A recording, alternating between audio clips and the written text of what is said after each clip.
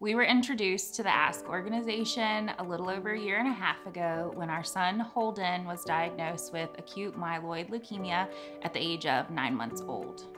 Mary Jo told us about their financial assistance program, which helped pay our mortgage twice the first year that Holden was diagnosed, which was a tremendous burden lifted off of us because upon his initial diagnosis and his hospital stays, his ongoing treatment, his clinic visits, I left my job and our family went down to a single income.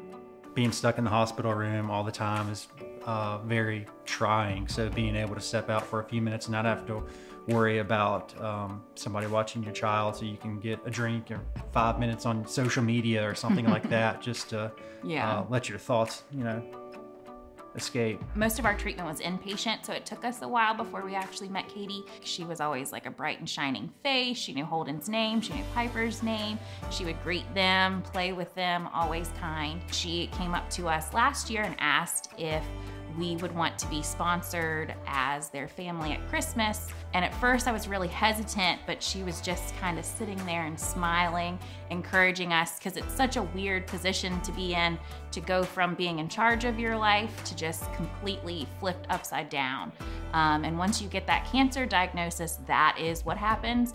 Everyone was gifted. Um, the family that sponsored us bought for Josh, myself, Piper Holden and our dog Moose. And the kids had the most awesome Christmas and we were just It was a very humbling experience. Yeah.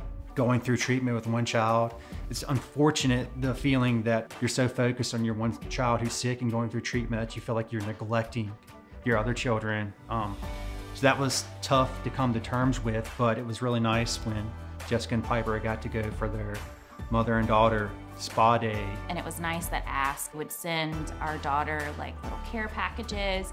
And they also have a preschool program called the Ask First Step program that our daughter participated in.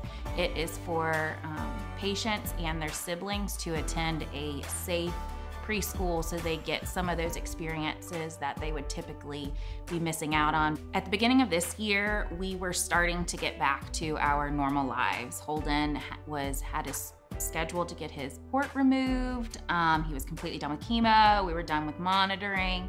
We were getting ready to go to the survivorship clinic. Then COVID happened and everything stopped. the preschool, the First Step Preschool, did their best to do virtual learning opportunities, which Piper thought was the coolest. We would do Zoom meetings with her classmates, and she would do science experiments or art projects. One thing that has been incredibly helpful to me through the pandemic and even before when Holden was in treatment is speaking to a psychologist. Um, I was speaking to one every two weeks and when I first met with her in clinic, she said, don't worry, like it's nothing you have to pay for. I don't need your insurance. Ask pays for that service for cancer kids, siblings, parents.